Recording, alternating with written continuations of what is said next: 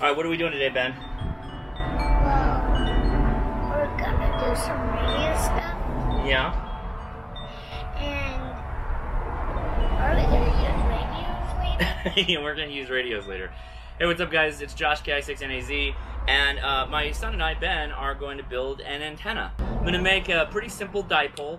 I'm gonna use this uh, one-to-one current balun in between uh, relatively two short lengths of wire, and then these chairs. And you know, big thing on my channel is experimentation and recommending people try things. And so, will it antenna? That's the question for today's video. Let's find out. So I think this is gonna be pretty straightforward.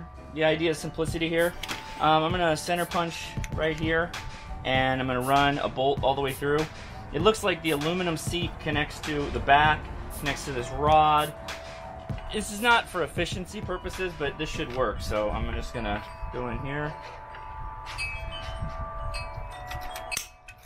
Yep, good little dent. Yeah.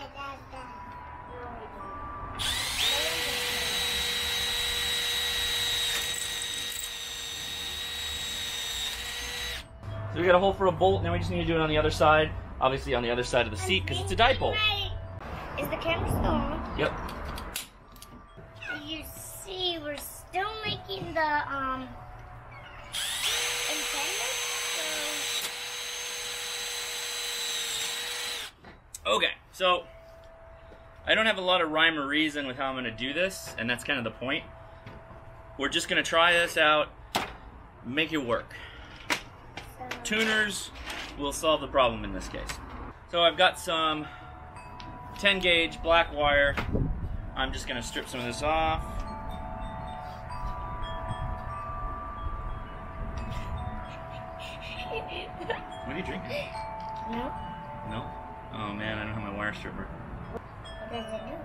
We want to make the metal and the wire stay together for as long as possible, and we use a crimping tool to do that.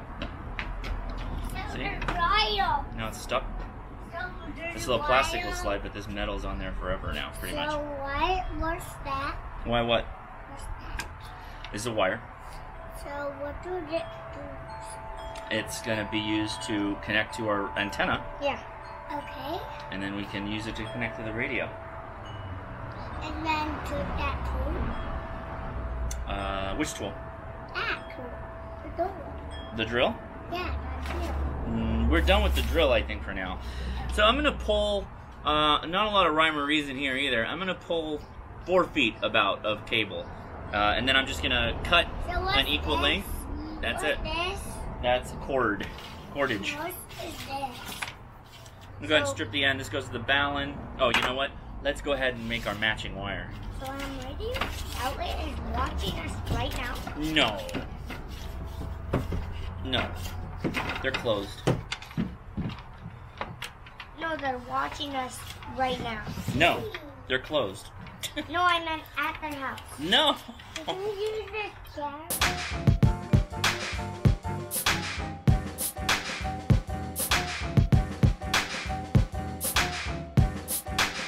Alright, I'm gonna connect each leg to the sides of my balun. Let's do it. Okay, so we have basically the first half or most of a dipole. This wire is going to act as uh, a part of a radiating element. Uh, but what I will do is I will actually test this as is on if there's any SWR change on different bands and then I will do uh, connecting it to the the actual chairs, and we'll test that. Real dirty dipole is just hanging uh, off of the umbrella. This is going to be a horrible match. This is expected to be a bad match. What I want to do is see where, if at all, it's resonant and what the relative SWR is. So I'm going to start with six meters. And it is somewhere like five to one right now. Somewhere between four and ten. Now, so that could be eight. Let's go to ten. That's ten to one now. So it's it's way off. Obviously, twenty is going to be ten to one as well.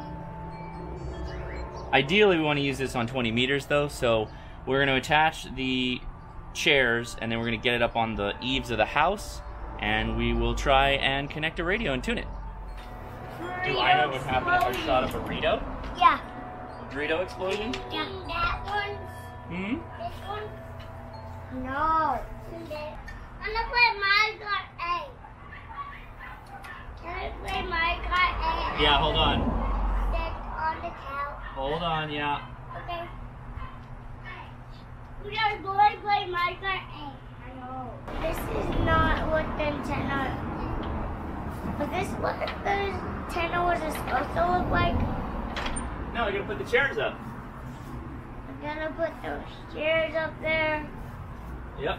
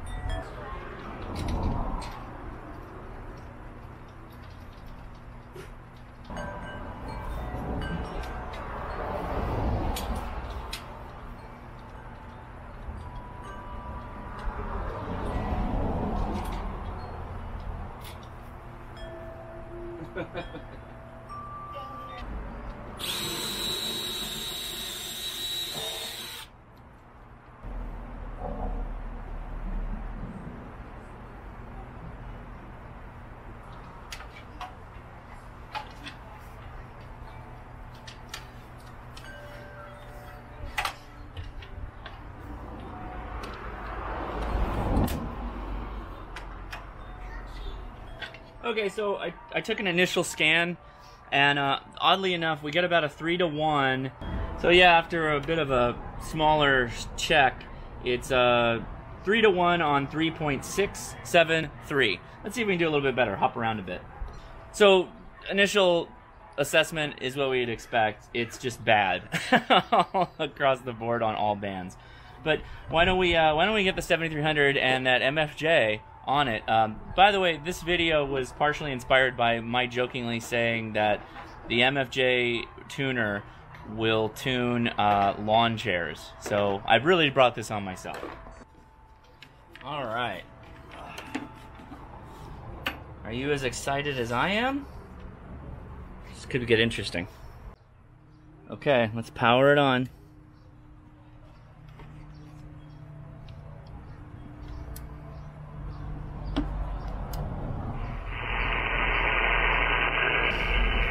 Okay, sounds pretty bad. Let's give her a tune. Tune it up, 1 to 5. 1.5 to 1. Oh man. 14 looks pretty bad though, so let's let's go to 40. And back. Let's get him on the battery. Let's change this off and put it on a battery. Oh, you got plenty of uh, FT8. Let's try 80. So that tuned up real fast. The bands are pretty bad. Just have to crank the reference just to get anything out of it. We got another FT8. FT8's all over the place today.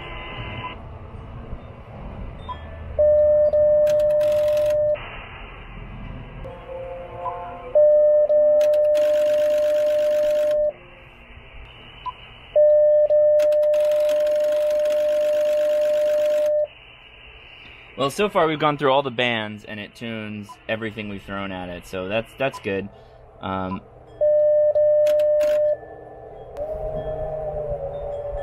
oh, something's over here. Something digital. Obviously, that's outside the transmission area for amateurs.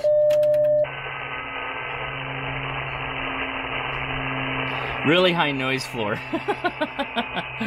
Go figure. Had a bit of a problem. The one of the chairs was touching my stucco wall of my house. Once I moved that, cleared it up. So we got these little weird uh, scan line effect thing. I'm not sure what that is. FT8 like a champ though. Let's go up a little bit.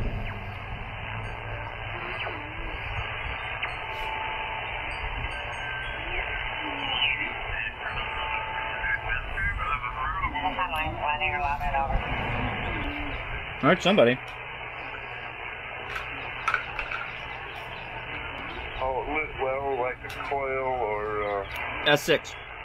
or uh, bars along the length of it, or spirals, or something like that to make it I can't believe it. to make it, um, you know, even though it's you know a, a, a true 40 meter dipole would be, oh my, it'd be six feet five. Ridiculous. This guy must be really close. so they, they've uh, electrically shortened it in some manner. Over. KR7RR, this is Kilo India 6, November Alpha Zulu. Uh,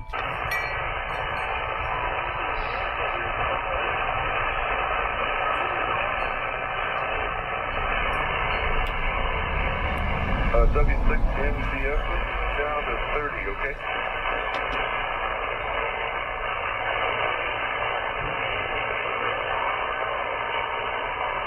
Uh, W6 MVF KR7RR.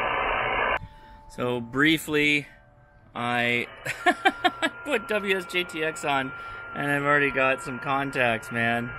This is crazy. This is crazy.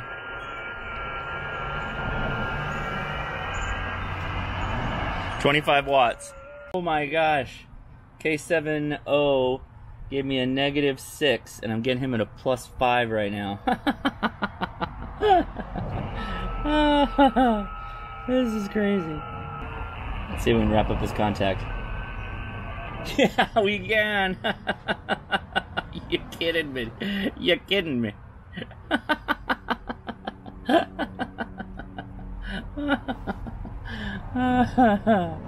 what the heck, man? What the heck? So, what did we learn today? Well, we learned that my oldest son really enjoys Power Rangers more than helping dad out in the backyard build an antenna. Uh, other than that, the folding chair dipole, you notice one was a little bit larger than the other, so maybe it's an off-center fed uh, folding chair dipole. It's a, it's not a good antenna, right? In no way is it a good antenna. Yet it still was able to receive. I was able to receive a pretty strong signal coming in from Arizona, and I heard some local traffic on 20. Um, transmit wise, I was able to make some contacts on FT8. My longest contact being to Montana. My shortest contact actually uh, maybe three or four blocks from me, so not bad on the ground wave, or, or perhaps I was getting a little NVIS off of it. Uh, the point of this video, these series of videos, whatever I end up doing with this, is not to say, hey, build these antennas, they work really well. No, it's to foster an, an idea that you experiment within amateur radio. Uh, yes, you have to be safe. Yes, you should do practical things that make sense, and you know you should always follow guidelines and et cetera, et cetera. But at the same time, don't stop from trying things. Don't stop from building antennas and trying things out. It's not going to be effective, but you're going to learn a lot. And then when you want to up, start building up, or you will build up into building efficient antennas, you know, a properly cut dipole, very effective thing to do if you're starting out on HF. You're going to be able to apply these to that, and you'll have a great time with it. So please get out there, experiment. Don't let anybody make you feel like you got to do things a certain way. Just be safe, right? And there's lots of ways to do that. If you have any questions and want to know how to do that, post in the comments below. Join our Facebook group, the Ham Radio Crash Course on Facebook, and our Discord. There's always somebody online, if not me, to answer questions that come up in this kind of stuff. I really appreciate you watching the uh, show here. Give me a thumbs up if you can and subscribe. And if you would like me to build an antenna out of something, please give me something that's at least some kind of metal that I can make something out of. Post it below and I'll add it to my list. Okay, guys? I'll talk to you later. See ya.